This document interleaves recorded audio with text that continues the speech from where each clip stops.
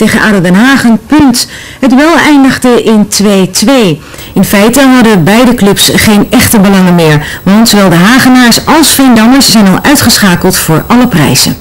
Het ging dus alleen nog om de premies gisteravond in Den Haag. Maar Den Haag wilde graag winnen, want Den Haag had nog maar drie thuiswedstrijden gewonnen.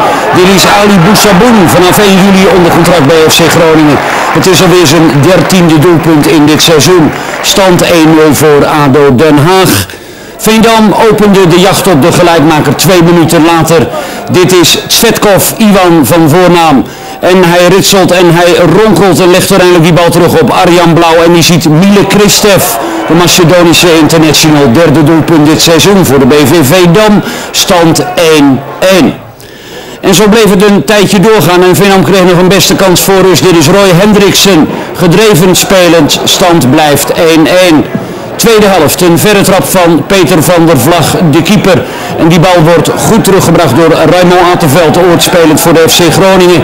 Speelde gisteravond libero bij ADO Den Haag. Een foutje van Marcel Sijp en dat moet je natuurlijk niet doen. En die bal belandt bij Leonardo de Braziliaan van ADO Den Haag. Niet dus de Leonardo van FC Groningen, niet dus de Leonardo van Feyenoord, maar de Leonardo van ADO Den Haag. En hij brengt de stand op 2-1.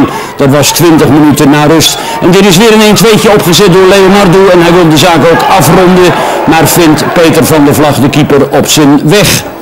Veendam kreeg ook kansen. Het spelbeeld ging op en neer en de kansen waren even gelijk. Dat wil zeggen om en om maar niks Kolder dicht bij een doelpunt. Kolder was ingevallen.